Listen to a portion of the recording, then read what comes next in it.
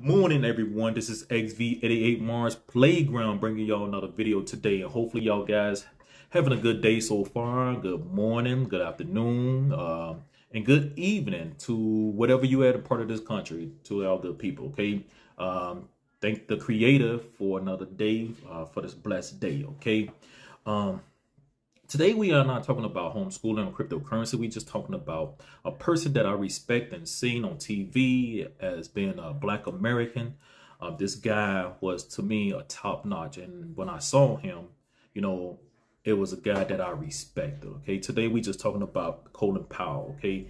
Uh, he passed away at 84 from COVID. Okay. 19 complications. And we're just going to be reading details about this and, um, my videos, you know, I, I, I, be I try not to put too much politics in it, but at the same time, I want my kids to learn this as as well. Okay, um, it's one of those stories that you know that it kind of touch people, and my condolences go to his family. Okay, and I respect this man. Like I said, growing up in the '90s, this was a person that I respect and seen on TV. You know, and um, yeah. So we just gonna go in details, and we just gonna read little stuff about you know Colin Powell's, and um, I'm getting this information from the Hill as well. Uh, whatever news you read, y'all guys, you know, just do your best to find your own research. Uh, you know, basically just to talk about this man, you know, because this is a man that I respect and most of the country respects, especially growing up in the 90s, all right? And uh, yeah, let's go ahead and detail. So, um, Former Secretary of State, okay, Colin Powell, the first black American to serve in the post, died on Monday at the age of 84 due to complications from COVID-19, okay? His family announced in a statement, all right? So, like I said, I give my condolences to his family, and I know what they're going through.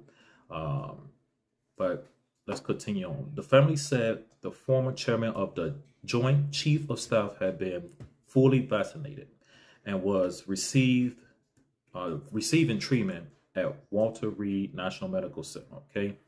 Um, he also had uh, reported, they reported had been diagnosed with multiple uh, types of cancer. Okay. Uh, so he was fully vaccinated. And, you know, like I said, I'm like putting politics in this and I'm not reading this because of that.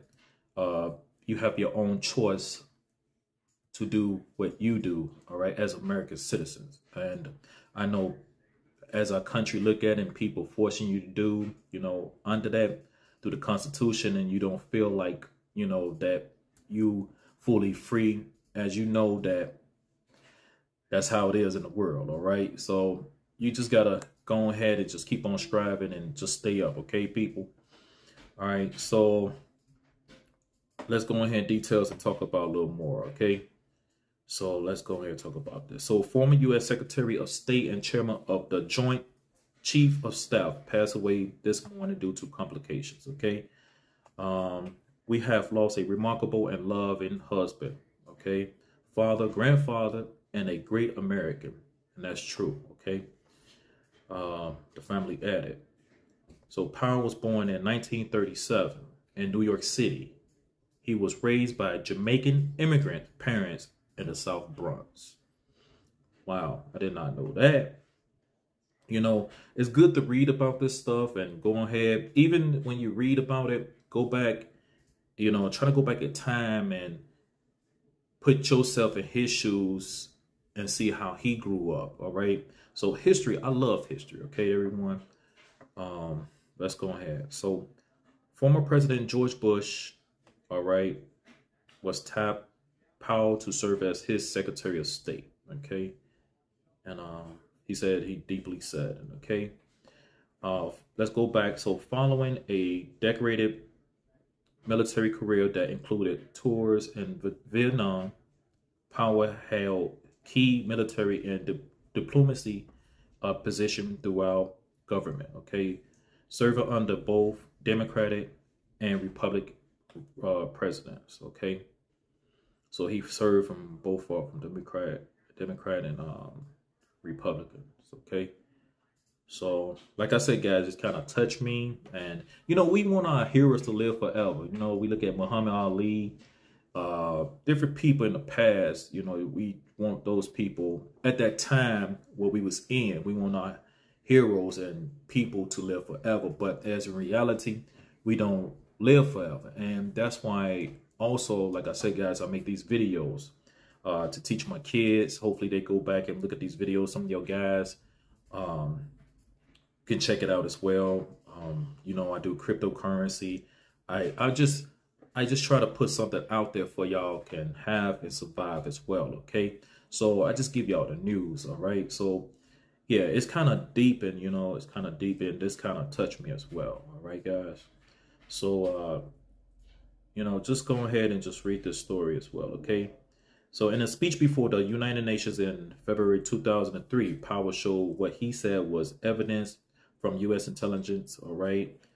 Um, they going ahead in details about misleading, all right, the Iraq, uh, Iraq military and stuff like that. So just go ahead, you know, and read this, and most of the middle ones just talking about war and different stuff. So I uh, just want to talk about, you know, the man itself. So after graduation in 1958, Powell joined the U.S. Army and was twice deployed to South Vietnam, South, yeah, South Vietnam, where he was wounded twice. Ouch, did not know that. Okay.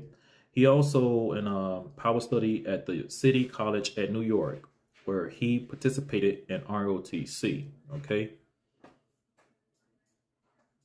And uh, we're to do the conclusion because I don't want this video to be too long. I uh, just trying to give y'all some information, you know, history uh, from a man, you know, that, you know, what I saw on TV and grew up on, okay? Um, he also said, I'm not a follower of anything right now. I'm just a citizen who has voted Republican, voted Democratic throughout my entire career. And right now, I'm just watching my country and not concerned with parties. Wow, that's deep right there. All right.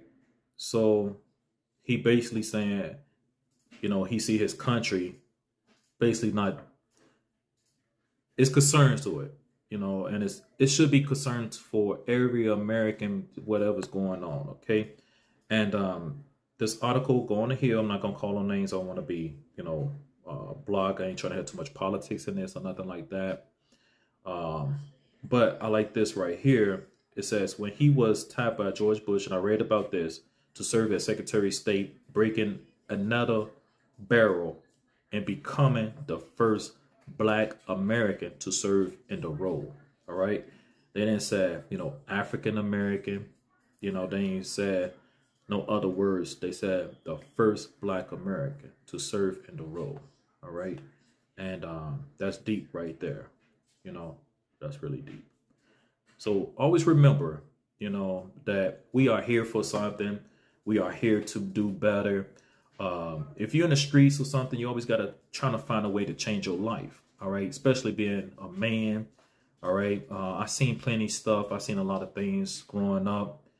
All right. And um, at the same time, you got to change your play you know, even though you're growing up around that as a person, you know, you just got to change. You just got to change. That's all I got to say with that one. All right. But I do respect this man. Uh, my condolences go to his family. And um, hopefully we can have more leaders like this in the future. All right. Um, try to teach your kids to be leaders. All right. To be the best. All right. And um, not just because of a color of a skin or something like that. You just teach your kids to be the best. All right, guys. This is XV88 Mars Playground. Y'all guys have a good one. All right. Probably see y'all later on. Peace.